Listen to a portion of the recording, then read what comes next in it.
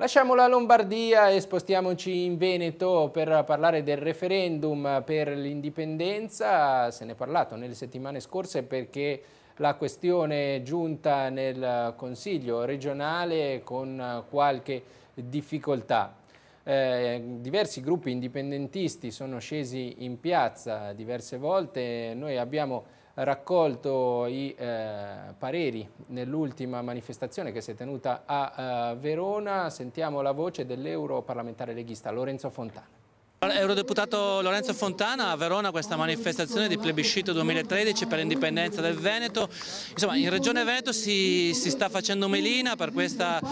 per indire questo referendum, come, come la vede?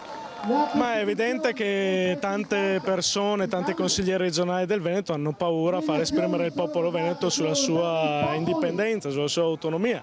E probabilmente perché sanno che l'esito di un referendum di questo tipo sarebbe per la stragrande maggioranza favorevole e quindi poi si aprirebbe un percorso politico per l'indipendenza che evidentemente tanti per interessi politici e forse anche economici che hanno non vogliono. Però bisogna portare avanti questa battaglia, è una battaglia difficile, non sarà assolutamente una cosa che si fa magari in due giorni e neanche una cosa semplice, però sono convinto che con l'impegno di tutti riusciremo ad avere gli stessi risultati che hanno altri popoli, quali per esempio gli scozzesi o i catalani. Ecco, dal suo punto di vista un po' privilegiato, da, dalla finestra di Bruxelles europea dove lei lavora, insomma come, come vedono in Europa questo piccolo movimento, intanto piccolo, de, del Veneto?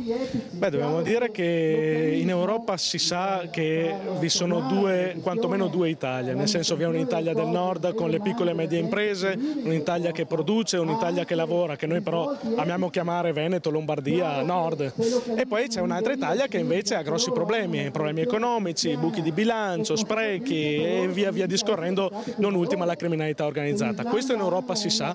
e si sa anche che ci sono spinte indipendentiste. Ovviamente anche in Europa tanti hanno paura a dare il via libera a forme di autodeterminazione perché per esempio pensate ai governanti spagnoli o anche gli inglesi, nonostante siano molto più liberali rispetto ai governanti italiani, hanno paura perché ovviamente ci sarebbe un riassetto di tutta l'Europa e probabilmente anche un cambiamento che all'Europa serve perché il pericolo che abbiamo adesso è che pass potremmo passare dal centralismo italiano e romano al centralismo europeista che potrebbe assomigliare a quello dell'Unione Sovietica.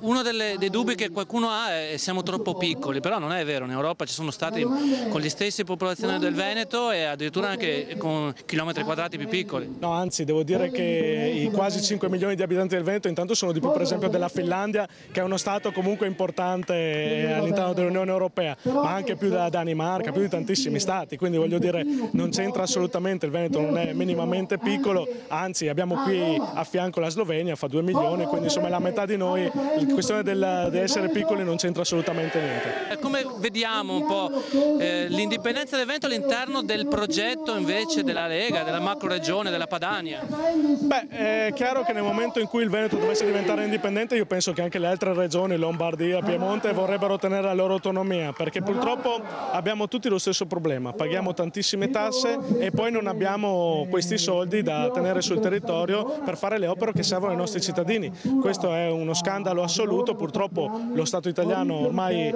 è fallito, lo sappiamo, i bilanci parlano chiaro e quindi sarà solo una questione di tempo. C'è da dire che noi se potessimo autogestire la nostra tassazione non avremmo nessun problema di bilancio, non dovremmo fare nessuna finanziaria e anzi probabilmente saremmo lo Stato trainante d'Europa.